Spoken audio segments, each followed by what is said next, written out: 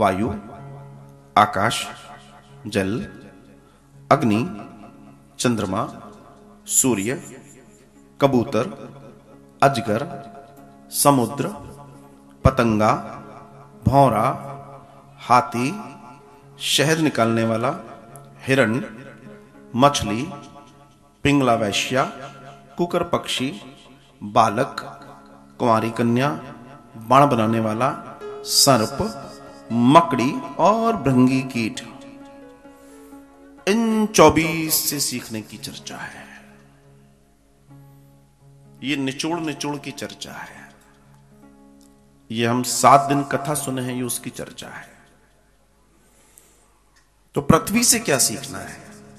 पृथ्वी से सीखना है सहनशीलता, क्षमाशीलता। हम जो भी कर रहे हैं, पृथ्वी के ऊपर ही कर रहे हैं। हर चीज़ पृथ्वी के ऊपर ही हो रहा है, भूमि का ही दोहन हो रहा है। लेकिन उसके बावजूद भी पृथ्वी हम सब पर कृपा करती है, सहन करती है और हमें कृपा देती है। वायु चलती है, लेकिन दिखती नहीं है। जीवन में सत्कर्म, कर्म ऐसे करो जिसका दिखावा ना हो। जीवन में ध्यान रखो। आकाश अनंत है ये मनुष्य के बाहर भी है और मनुष्य के भीतर भी है।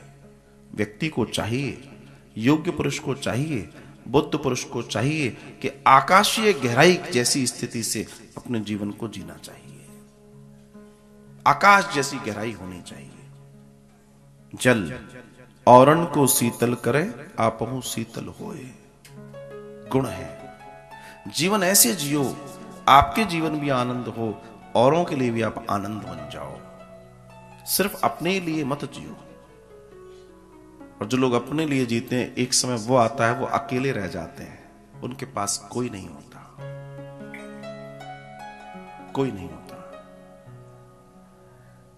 कुछ शव यात्राएँ ऐसी होती हैं जिन्हें देखकर आश्चर्य होता है। कुछ शव यात्राएँ ऐसी होती हैं जिनको देखकर आश्चर्य होता है। मतलब? किसी में हालत यह होती है कि चार लोग दौड़े दौड़े जा रहे होते हैं। किसी में हालत यह होती है कि चार हज़ार लोग दौड़े दौड़े जा रहे होते हैं। यह बताता है कि इस व्यक्ति के जीवन की कमाई क्या है। आपकी शव यात्रा बताती है कि आपने जीवन में क्या कमाया। चार कमाए या चार हज़ार कमाए? शव यात्रा दुनिया का सबसे बड़ा दर्शन है साहब। सबसे बड़ा दर्शन। काश व्यक्ति समझ पाए। काश। और आज की ज़िंदगी लोग ऐसे जी रहे हैं कि पड़ोसी से मतलब रखना नहीं चाहते। इतने ज़्यादा अपने आप को अप टू डेट रखना चाहते हैं कि बस उसके बाद होता क्या है। जब घर में आग लगती है तो पड़ोसी काम में आता है। सारा एटीट्यूड और स्टेटस बाहर खड़ा होता है। पड़ोसी ही काम में आता है। अग्नि। अग्नि से सीखा कि जीवन में ज्ञान की अग्नि हमेशा जीवन में जलती रहनी चाहिए, सीखने की चाहत। कुछ ना कुछ हमेशा सीखते रहो, ज्ञान लेते रहो, हमेशा स्टूडेंट बनो जीवन में। कभी शिक्षक मत बनना। तात्पर्य, अपने आप को हमेशा विद्यार्थी बनकर जीवन जियो। जो लोग अपने आप को विद्यार्थी मानकर जीवन जीते हैं, उनका जीवन सुंदर होता है। और ज़रूरी है सूर्य। सूर्य समान भाव से सबको देता है। आप में से हो सकता है कोई ऐसा भी हो जो सूर्य को अर्घ न देता हो, कोई देता हो, जल चढ़ाता हो, न चढ़ाता हो। लेकिन ऐसा तो नहीं है ना कि साहब, इस घर से मुझे जल नहीं आता, मैं इस घर में प्रकाश नहीं दूँगा। सूर्य सबको प्रकाश देता है। चंद्रमा। चंद्रमा की सोलह कलाएँ होती हैं। छोटा छोटा छोटा छोटा छोटा छोटा छोटा, बड़ा बड़ा बड़ा बड़ा बड़ा बड़ा बड़ा बड़ा बड़ा। एक समय अंधकार, एक समय उजाला। पूर्णिमा भी है, अमावस्या भी है, सब कुछ है। सोलह कलाएँ होने के बावजूद भी चंद्रमा में, चंद्रमा से क्या सीखना है? कि चंद्रमा चंद्रमा ही है चंद्रमा बदलता नहीं है। जीवन में उतार चढ़ाव आते हैं। पता पड़ा चार पैसे आ गए, आदमी आदमी को नहीं पूछता, चले गए तो फिर बैठे हुए, भाई साहब बताइए, कुछ काम बताइए। होता है। कई लोग की लॉटरी खुल गई तो इंसान इंसान को नहीं समझता फिर तो। ऐसा भी दर्शन आता है। एक जैसे रहो, जीवन में उतार चढ़ाव सब होते रहेंगे। अपनी ज़िंदगी को ऐसे जियो कि कोई तुम्हारा पुराना मिले तो उसको ये ना लगे तुम बदल गए। तुम वही मिलो जो थे। बीस साल पहले थे, तीस साल पहले थे, पचास साल पहले थे। चीज़ें ऊपर नीचे होंगी। बैंक बैलेंस छोटे बड़े होंगे, उससे जीवन के स्वभाव पे फ़र्क नहीं पड़ना चाहिए। यही जीवन है। कबूतर। कबूतर से संतों के लिए बताया कि संत के लिए दुनिया अपनी है, पर कोई अपना नहीं है। क्योंकि कबूतरी मरती है तो कबूतर भी मरता है। इसलिए उसको पिजन हार्ट बोलते हैं। मतलब सबसे कमज़ोर हृदय। कबूतर को गोली थोड़ी मारनी पड़ती है, पटाखे की आवाज़ से मर जाता है वो तो। तो जीवन को आप महान संतत्व की ओर जा रहे हैं, ऐसा जीवन न जिए कि किसी के प्रभाव से आप भी दुखी और सुखी होने लगे। ये फ़र्क नहीं पड़ना चाहिए। यात्रा ऐसी होनी चाहिए। अजगर, महात्मा को अवधूत होना चाहिए। जो मिल गया, कोने में पड़ा अजगर छह आठ महीने गुजार देता है। महात्मा वही है। महाआत्मा। यह नहीं कि संग्रह में लगा हुआ है। और अपना घर भर रहा है, अपना, अपनी जोड़ियाँ भर रहा है और चोला पहना हुआ है महात्मा का। ऐसा नहीं होना चाहिए। पतंगा। पतंगे से सीखना है कि स्त्री संग नहीं करना। यह महात्माओं की चर्चा है, गुरुओं की चर्चा है। हाथी। कास्ट की हथनी बनाई जाती थी पहले। और बड़ा गड्ढा करके ऊपर छोटी छोटी लकड़ियाँ रख के उसके ऊपर कास्ट की लकड़ी खड़ी हथनी को खड़ा कर देते थे। बाजा बजाते थे। हाथी आता था, हाथी देखता था, अरे, ये तो हथनी है। उसके पीछे दौड़ता था और उसके आगे एक गड्ढा और होता था। उसमें गिर जाता था, पकड़ा जाता था। मछली से सीखा। मछली क्या करती है? मछली के कांटे में दाना। देखो, जबकि मछली को देखो तो क्या समुद्र में, नदी में, तालाब में, सरोवर में कमी है उसको भोजन की? क्या आपने कभी ऐसा देखा कि कोई मछली सिर्फ़ इसलिए मर गई क्योंकि उसको भोजन नहीं मिला तालाब में? नहीं मिलेगा आपको कभी ऐसा। कोई कमी नहीं है। लेकिन उसके बावजूद भी वही मछली जब वो काटा जाता है, उसके लालच में आती है, फंस जाती है और मर जाती है। अतिरिक्त लाभ, अतिरिक्त लालच के चक्कर में अनेकों लोगों के बैंकों के पूरे के पूरे सफ़ा क्लीन स्विप हो जाता है। आपकी लॉटरी खुली है। जब तक वो दस मिनट बात करेगा, ग्यारहवें मिनट में तो मैसेज आ जाता है, ट्रेन ट्रेन ट्रेन, गया सब कुछ, जय हो। कई लोगों के साथ ऐसा होता है, कई लोग और कौन के साथ होता है जो पढ़े लिखे लोग हैं? अच्छे खासे पढ़े लिखे लोगों की रिपोर्ट्स हैं। हिरन हिरन के साथ भी उसको भी पकड़ा जाता संगीत बजाया बजाया जाता है और वो फंस जाता है। पिंगला वैश्या एक वैश्या थी पिंगला वैश्या रोज सज कर बैठती अपने शरीर को बेचती। एक दिन वो बैठ गई और बैठकर वो किसी के आने का इंतज़ार करती रही। वो जहाँ बैठी थी, उसके ठीक सामने एक मंदिर था। ठाकुर जी की बड़ी सुंदर प्रतिमा थी उसमें।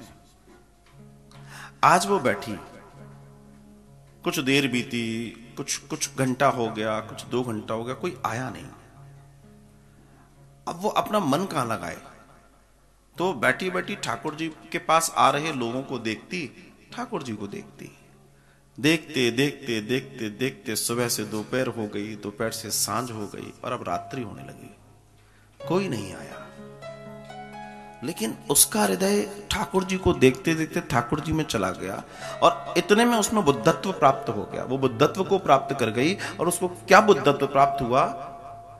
कि मैं दुनिया का इंतज़ार कर रही थी और दुनिया बनाने वाला मेरे सामने था। मैं सजी लोगों के लिए, लेकिन मुझे किसी पूछा नहीं। जीवन कट जाएगा। मुझे तैयारी जिसके लिए करनी थी, जिसके लिए सजना था, वो तो गोविंद मेरे सामने ही है। और उसका बुद्धत्व जागा और उसने अपने आप को गोविंद को समर्पित कर दिया। किसके लिए सजना है हमें? इसके लिए। कौन सा स्वांग? कौन सा मेकअप? अध्यात्म का, ज्ञान का, भक्ति का, वैराग्य का। क्योंकि बाकी सारे मेकअप यहीं छूट जाएँगे। और जिन पर चढ़ेगा, वो भी छूट जाएगा। वो भी छूट जाएगा। बचेगा कुछ भी नहीं। और जो साथ जाएगा, वो यही जाएगा, कुछ और जाएगा नहीं। इस बात को भी समझना हम सबके लिए अति आवश्यक है, परम आवश्यक है। उसको ज्ञान हो गया औरों को हुआ या नहीं, ये और जाने। कुकर पक्षी। मांस का टुकड़ा लेकर आकाश में उड़ता है। और जब वो उड़ता है तो उसके पीछे बाज, चील जैसे बड़े पक्षी लग जाते हैं।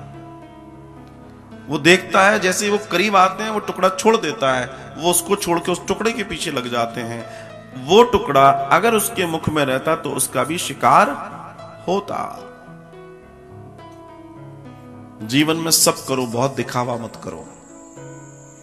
कई बार दिखावे के चक्कर में व्यक्ति जीवन से भी हाथ धो बैठता है। कई लोग दिखावा बहुत करते हैं। जीवन में बड़ा दिखावा है। और जीवन को अगर जीने का सही तरीका अगर किसी को सीखना है तो श्री गणेश जी से सीखिए। सब कुछ देने वाले, जिनके पास रिद्धि सिद्धि है जिनके पास ज्ञान है, जो विघ्न हटता है, जो सब डकार ले जाने वाले हैं, इतना बड़ा पेट है। दूरदृष्टि ऐसी सुंदर आँखें उनकी, दूर तक जाती हैं। लंबी सूढ़ है, दुनिया की सारी हलचल उनके पास है। सब कुछ होने के बावजूद भी सवारी चूहे की है, दिखावा नहीं है। ये दर्शन है, ये दर्शन है। ये बड़ा दर्शन है। ये समझने वाली बात है। और ये जानना बहुत ज़रूरी है। लोग क्या कर रहे हैं, उनको देखकर लोग जी रहे हैं। आपकी स्थिति और परिस्थिति क्या है, जीना जबकि उसके हिसाब से है। ये एक बड़ी प्रॉब्लम है। पड़ोसी ने बड़ी कार खरीद ली, नींद आपको नहीं आ रही। पड़ोसी के यहाँ बड़ी कार आ गई। वो आराम से सो रहा है, तुम सो ही नहीं रहे हो। क्यों? क्योंकि वो अखर गई तुम्हें। अब तुम रात दिन लगे पड़े हो इससे बड़ी हम लेकर आएँगे। मतलब तुम्हारी ज़िंदगी कोई ज़िंदगी नहीं है, रिमोट तुम्हें उसकी कार वो कर रहा है, पड़ोसी तुम्हें रिमोट कर रहा है। तुम्हारा रिमोट पड़ोसी के हाथ में है। आश्चर्य की बात है। ज़िंदगी में अपने आप को स्वयं से रिमोट करो, ना कि तुम्हें कोई रिमोट करे। जीवन में ध्यान रखिएगा इस बात को। बालक से क्या सीखा? बालक से सीखा भोलापन। बालक के पास क्या होता है? भोलापन, जो सबसे कीमती चीज़ है, जो ध्रुव के पास थी, जो प्रहलाद के पास थी, जिसके कारण गोविंद रींझ गए। और आ गए। जब तक ये नहीं होगा, तब तक नहीं होगा। सर्प से अकेले विचरण करो। ग्रुप में नहीं करता, अकेले करता है। मतलब अकेले विचरण की भी प्रैक्टिस कर लो, क्योंकि यात्रा अकेले ही करनी है। कोई साथ में कोई नहीं जाएगा साहब। ना किसी के साथ कोई गया, ना कोई किसी को ले गया। और ले गया हो तो एक आध का नाम बताओ। उससे पूछे, भैया, कैसे ले गए? हमें भी जाना है। कोई ऐसा हो जो ले जाने वाला हो। इतनी तैयारियाँ इतनी तैयारियाँ इतनी तैयारियाँ, और साथ में कुछ जाता नहीं है। गया है क्या किसी के? एक आध का नाम बताओ।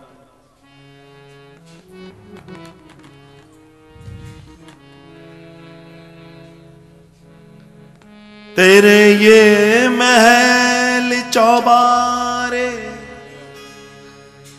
यही रह जाएँगे प्यारे।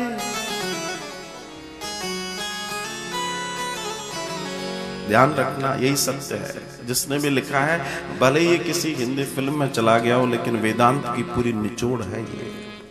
वेदांत का निचोड़ है ये। ध्यान रखिए।